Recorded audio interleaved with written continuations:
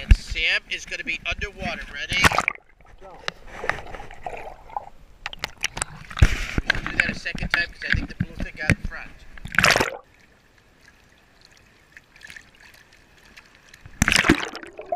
Oh, wow. I think I got it. I went underwater with you. Hopefully, we'll develop that